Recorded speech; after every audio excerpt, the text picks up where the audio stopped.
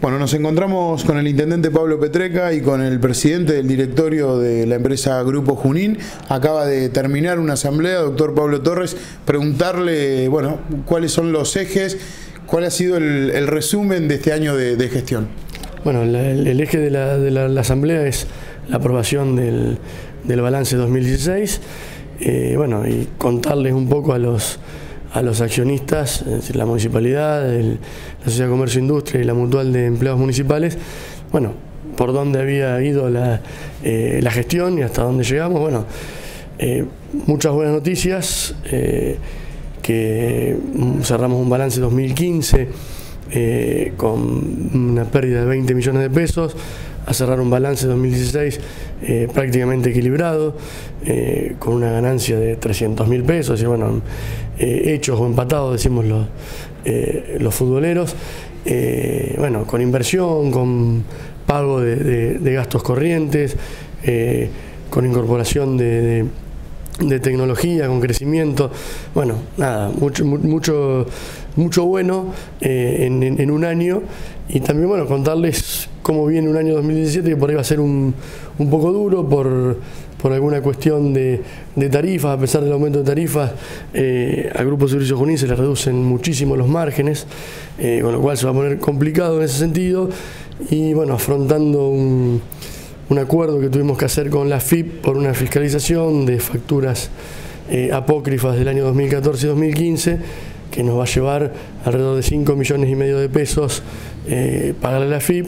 Lo bueno es que lo hicimos en el marco de una moratoria, que lo vamos a pagar en, en cinco años, pero bueno, eso va a verse, reflejado en este balance que estamos iniciando, que es el, en, este, en este ejercicio que estamos iniciando, que es el, el 2017. Así que bueno, ponerlos al tanto de eso, contarles cuál es el rumbo empresarial eh, y bueno, que sepan y para dónde ir, porque bueno, son quienes también nos indican eh, para dónde quieren que vayamos.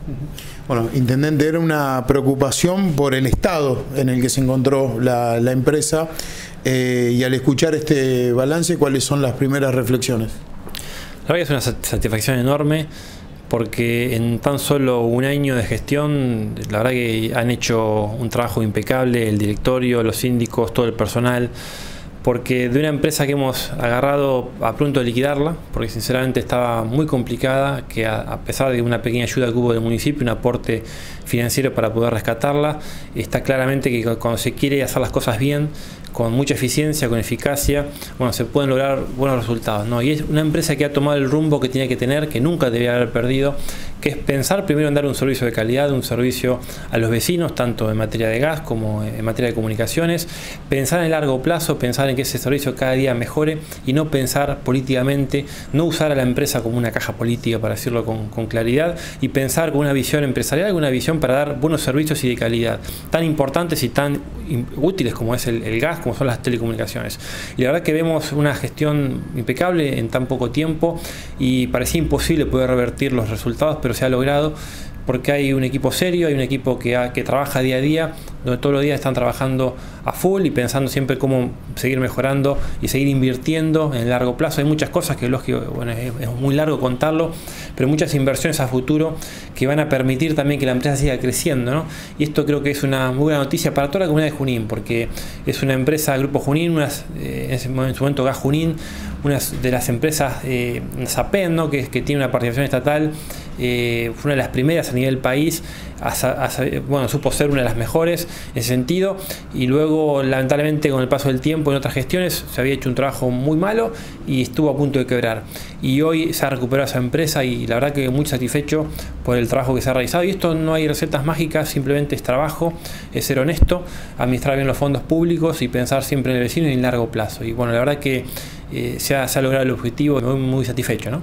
Bueno, estamos con Diego Ruiz, presidente de la Sociedad Comercio Industria, institución accionista de la empresa Grupo Junín.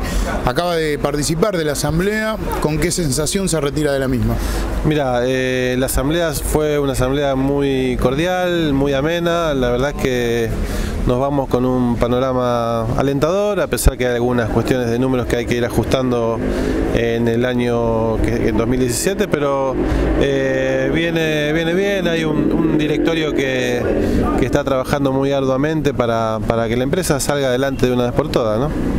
Gabriel Saudán es secretario general del Sindicato de Empleados Municipales y también es el representante de la mutual de, los empleados municipales, accionista de, la empresa.